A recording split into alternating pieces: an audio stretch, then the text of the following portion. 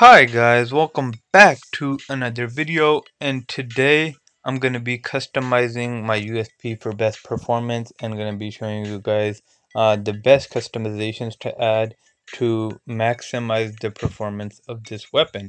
Uh, so let's get right into it. First of all, I'd like to mention that this gun is super dark without the skins.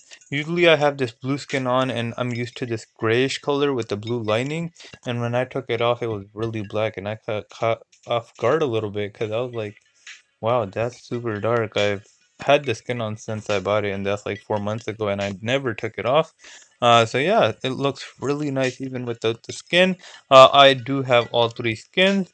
For, but for the purpose of this video, let's use this x-ray one because I rarely ever use this one.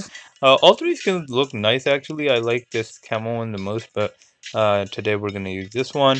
We also have the sight. Uh, these two things do not affect stats.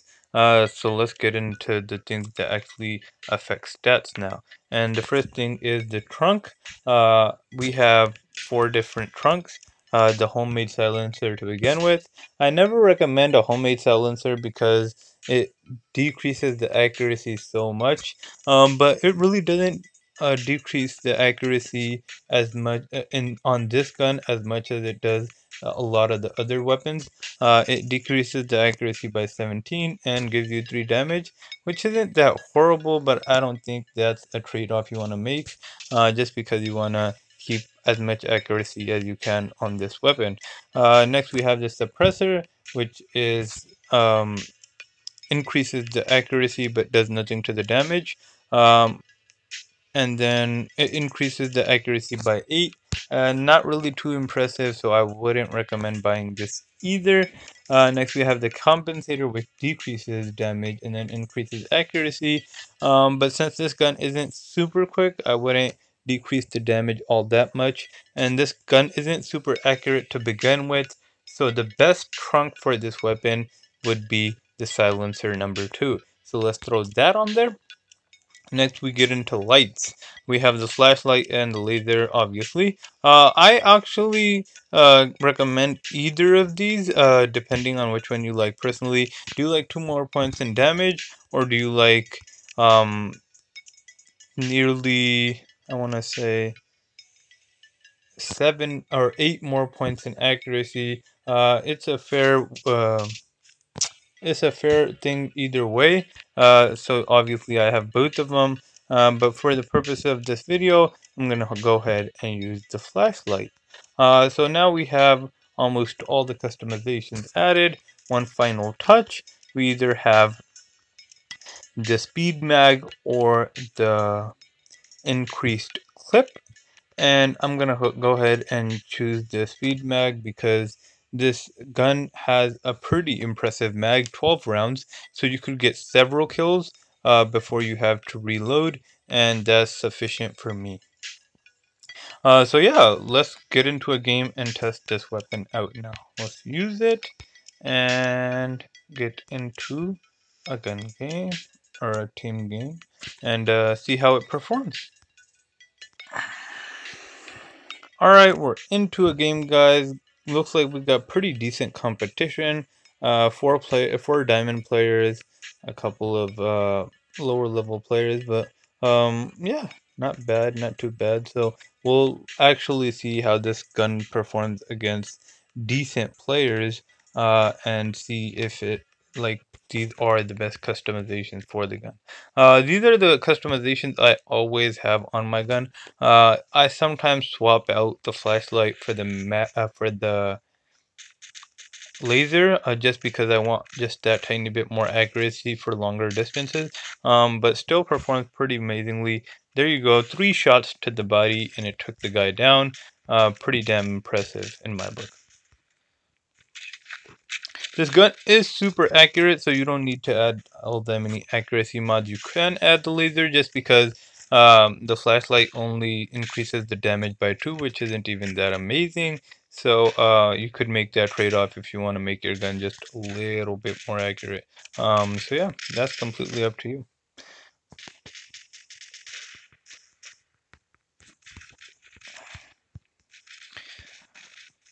I wish they would uh kind of match uh, the skin of the customizations to the gun because it looks kind of weird if a gun has a certain customization and the skin uh, or certain customization skin uh, customized skin and then the customizations are a different color uh, I wish if the gun was camo the customizations were camo uh, if the gun was an x-ray and the customizations are x-ray stuff like that you know it, it would match more But as you guys could see, if I do register the shots, it does get kills in about three shots uh, with the combination of uh, head and body shots. Um, I want to say it gets a kill with four body shots, and then uh, if you include a headshot in there, uh, you get a, a kill with three hits. If you get only headshots, you get a kill with two hits. So it's not bad at all. Uh, actually, pretty good. Um, the weapon's performing pretty decently right now. I'm not so much. So, um, yeah, pretty amazing customizations. Uh, really pretty accurate weapon right here. Um, pretty good damage as well. 33 damage is not bad at all, which means you get a kill in about three shots, which isn't bad at all. Wow.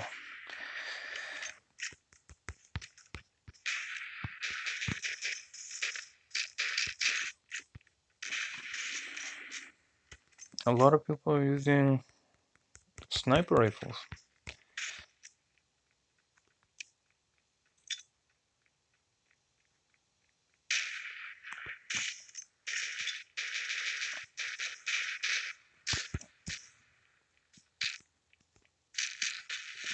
Wow, he got me with a knife from that distance. Crazy.